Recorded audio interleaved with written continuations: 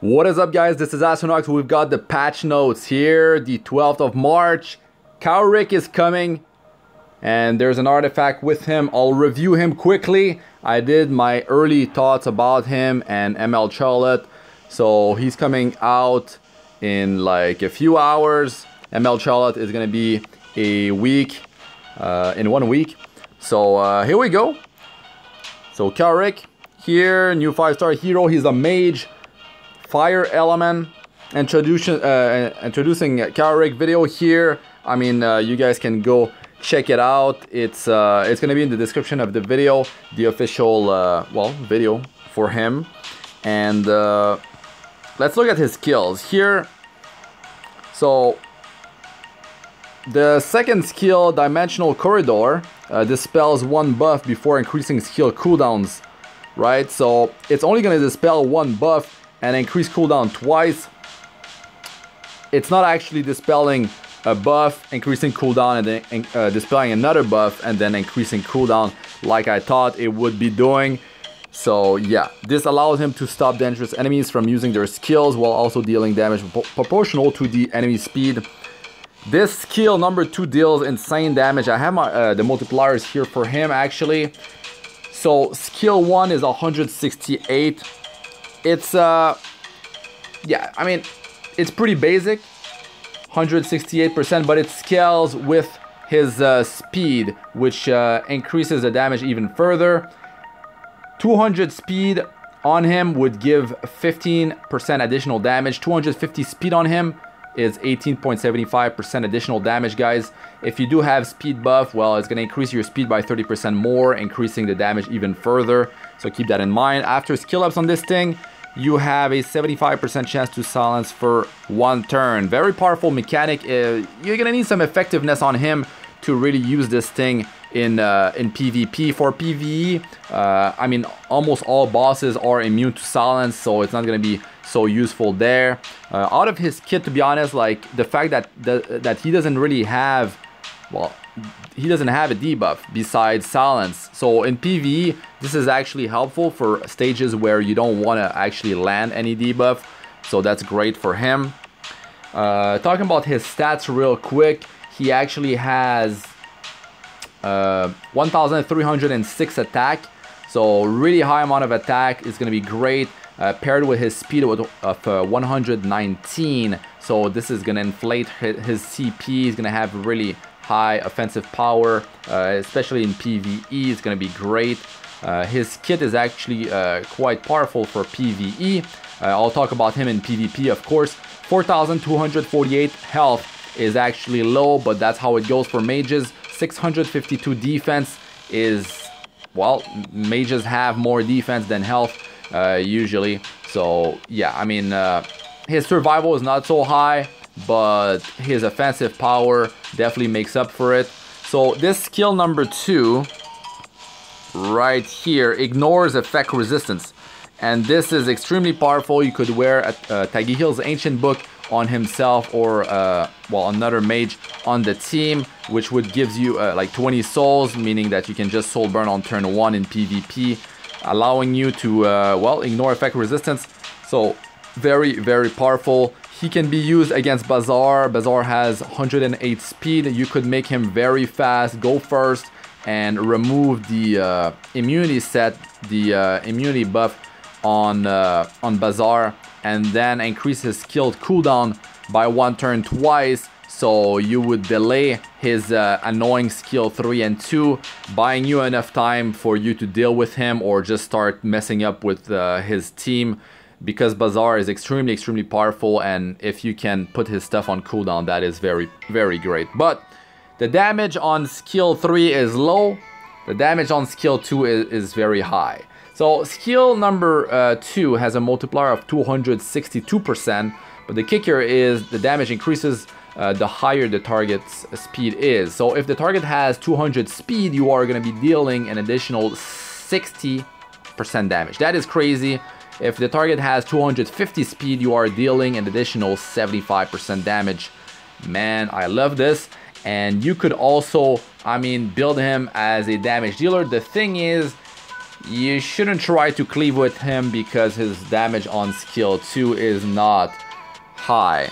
You know, the AoE on this is definitely not going to be hurting much and you've got that condition to penetrate defense by 30%, you need to have speed buff. So if you want to cleave with him, you're going to have to apply the speed buff first, uh, which is definitely an issue, and penetrate defense by 30%, uh, even with, his, like, his multiplier is not high enough. So, yeah. So skill 3 has a multiplier of 142%.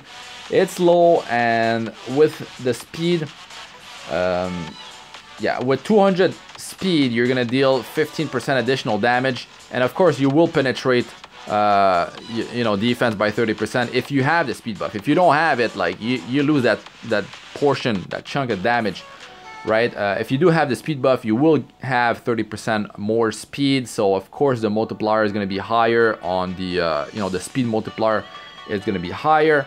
So if you do, like, let's say you have 200 speed on him initially. If you have the speed buff, that's 260 speed now, so it's going to be, uh, you know, dealing 19.5% damage instead of 15%. It's not that much. It's it's a bit extra.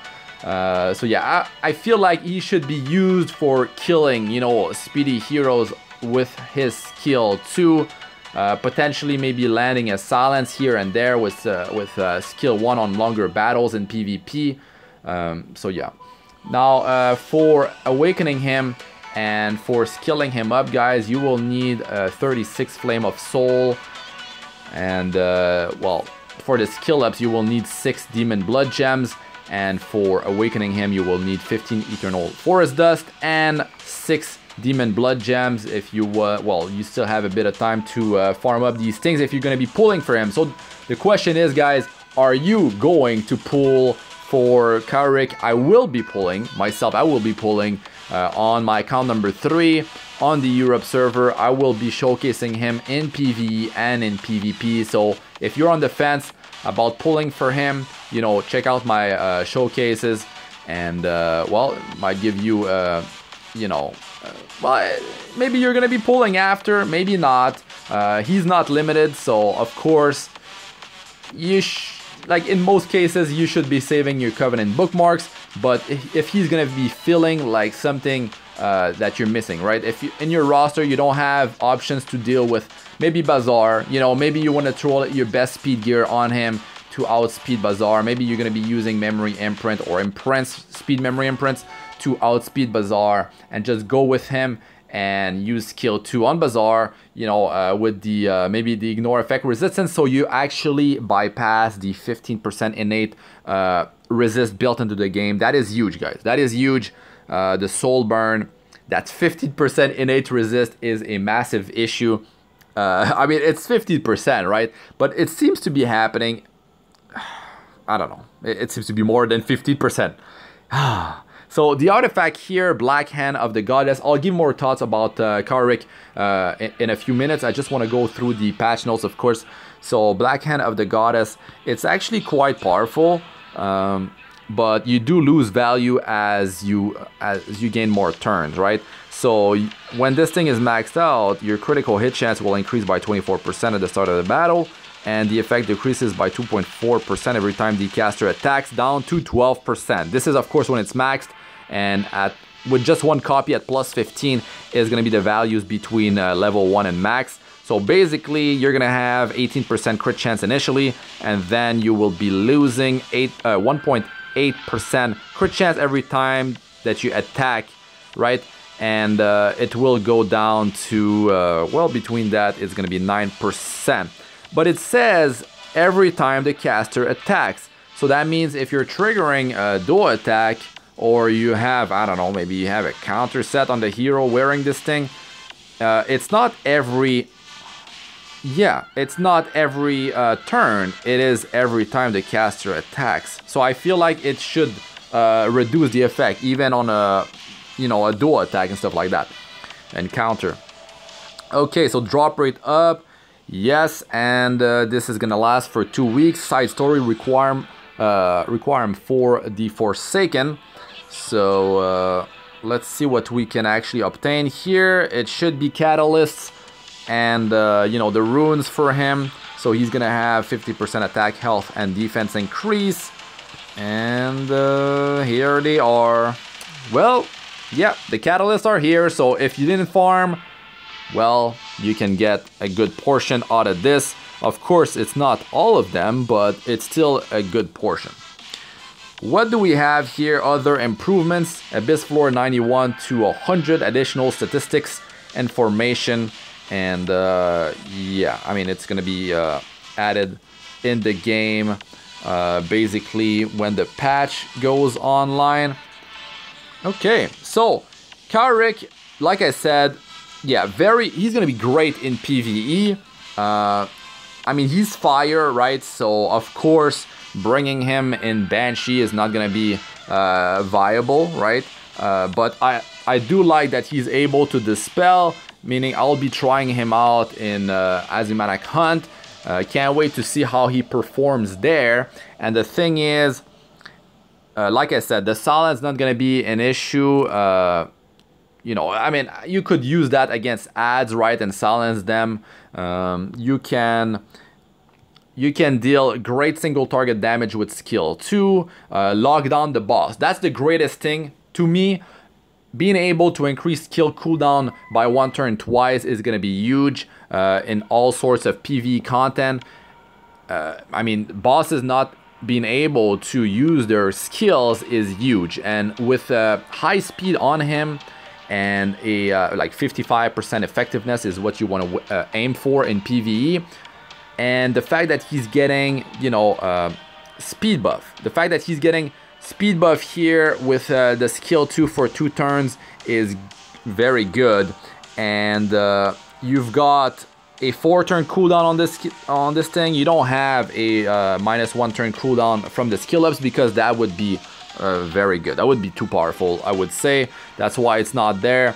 But the damage on this thing is crazy. If you want to see some numbers, uh, I have a, a video called uh, you know skill multipliers for ML Charlotte and Kawerik and uh, yeah you can see some uh, numbers through a tool a calculator using different speeds and uh, amounts of attack and critical hit damage to give you an understanding of uh, well what kind of values you, you're gonna be seeing out of him. But of course I'll be doing some showcases so stay tuned for that of course uh, in raids, he actually has good morale uh, synergy with uh, other heroes so you can definitely use him there. He has an aoe with uh, skill 3 i feel like the ai the artificial intelligence of the game will be using skill 2 first before using skill 3 because there's that requirement of having speed buff on skill 3 so i feel like they have this built-in uh, built in with uh, this hero but I need to test him, right? Of course, to be sure that's how it works. So, of course, stay tuned for those videos. Uh, but I feel like he's going to be using skill 2 first before skill 3, which is definitely going to be great, and uh, which is going to, well, allow him to deal more damage, and uh, the penetrate 30% defense is going to be great too, uh, allowing him to uh, do some extra cleave damage, and you don't, uh, potentially don't need defense down, you know, debuff part of your, like, raid team with him, so that's another thing that is pretty good. I mean, it's not a, a full like 70% uh, defense reduction, right, with uh, his uh, skill 3, but I mean, it's definitely going to be helpful against uh, targets with a higher amount of uh, defense. The, the fact that he has 1300 attack is definitely going to be super good. 119 speed, man, it's it's definitely uh, amazing and uh, he, he's the fastest speed actually uh, mage in the game. Uh, so anyways, definitely check out my showcases if you're on the fence uh, to pull for him. His memory imprints are actually like uh, itself uh, attack percentage increase or you know increase the attack of your teammates, not for himself, for the team-wide one. Well, it doesn't include himself. So yeah. So that's skill number three. Uh, I was talking about the multiplier on this. 142% is actually low. Uh, 200 speed is 15% additional damage. Nothing crazy, but of course you're gonna have the 30% penetrate defense on top, so uh, it should definitely add a decent amount of damage. You've got 30% damage increase from skill ups. I'll actually plus 15 Kawerik to show you guys like his true damage potential. So definitely uh, stay tuned for that. Um, with 250 speed, you're going to be dealing 18.75% additional damage. Uh, if you do have the speed buff, 30% more is 325 speed. So that's 24.375% additional damage. Uh, nothing insane. Of course, building him on a speed set with, uh, like, let's say, speed critical hit set would be, uh, well, the way to go if you want to maximize uh, you know, on your stats in PvE. And speed set, of course, for PvP is going to be great. If you want to initialize with him, like I said, uh, go speed and of course go crazy uh, with uh, your speed substats. So speed set on your two piece could be, I mean, up in the air really. Uh, if you're going to be relying on Tagehel's Ancient Book to Soulburn skill 2, then you don't need to build up a, bunch of effectiveness. So you could avoid wearing like a, a two piece hit set. You could avoid just having effectiveness on your gear. You just you could just go crazy and just have the best speed. You don't have to worry about your damage. Your damage the thing is that you have to understand is skill 2 will not be able to down Basar. Uh, especially if you're building maximum speed on him you're not going to be able to kill Basar uh, straight up. Uh, even uh, I tested it with uh, high speed and even pretty high amount of attack you know and critical hit damage on him uh, of course, 100% crit chance. Against Basar, you only need 85% crit chance because you are at elemental advantage with 15% additional crit chance. So even with like pretty high offense, which is going to be hard to actually achieve because if you're aiming for high speed, uh, then you have to uh, get a necklace with uh, critical hit chance or even critical hit damage if you're super lucky with uh, your substats. Uh, let's say you have a bunch of crit chance there uh, still, it's going to be way too hard. Uh, you can't do it. You're not going to have defense break, so you can't land the one shot on Basar. But the thing is, uh, of course, you're going to be able to dispel. You're going to be dealing damage. Let's say there's a Fallen Cecilia, right? Uh, you're going to have to deal with barrier and debuff immunity. The thing is, damage is dealt first, so you're going to be able to at least break the barrier, right? From uh, off uh, Fallen Cecilia on uh, on Basar. Let's say let's say we're talking about Basar, but you can definitely use skill 2 against uh, plenty of other heroes that you're scared that they go first and mess up your team, right? Or apply some kind of buff like a Maid Glory or whatever.